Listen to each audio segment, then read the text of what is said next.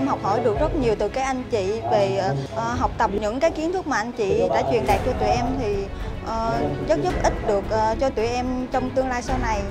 Mà tri thức luôn là mãi mãi đi với con người.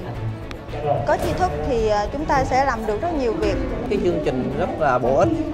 Cái chương trình đã tiếp sức cho em rất nhiều. Nguồn động lực cũng như là cái ý chí vượt qua khó khăn trong cuộc sống. Em cảm thấy bản thân mình nên ờ, đọc nhiều loại sách hơn nhất là những sách nói về ờ, khởi nghiệp cuộc sống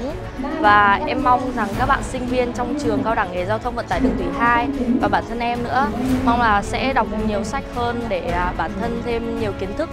à, tri thức và động lực nghị lực để à, vươn tới thành công và đỉnh cao trong cuộc sống ạ. Tôi nghĩ đây là một cái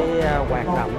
mang tính xã hội rất cao quý. Qua cái buổi giao lưu ờ, tập đoàn cũng đã kích hoạt cái động lực khơi nguồn khát vọng khởi nghiệp, cái tư duy mới,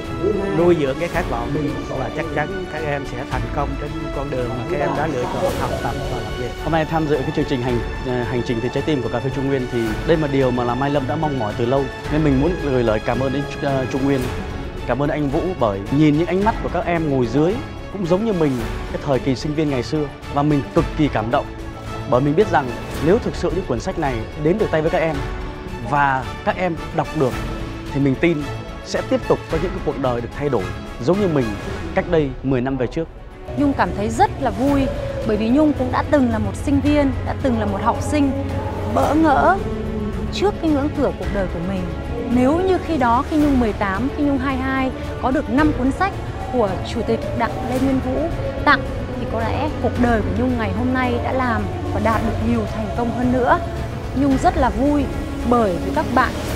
sinh viên Việt Nam bây giờ đã có những người tâm tài đức như Chủ tịch Đặng Lê Nguyên Vũ đã giúp cho các bạn có những cơ hội để có thể start up, có những cơ hội, có những kiến thức từ những bậc vĩ nhân, từ những quốc gia khởi nghiệp. Và mong tất cả các bạn có sức khỏe cũng như đầy đủ một cái năng lượng một cái mong ước và một cái khát vọng lớn để tập hợp được năm cái yếu tố trở nên một người thành công và hạnh phúc.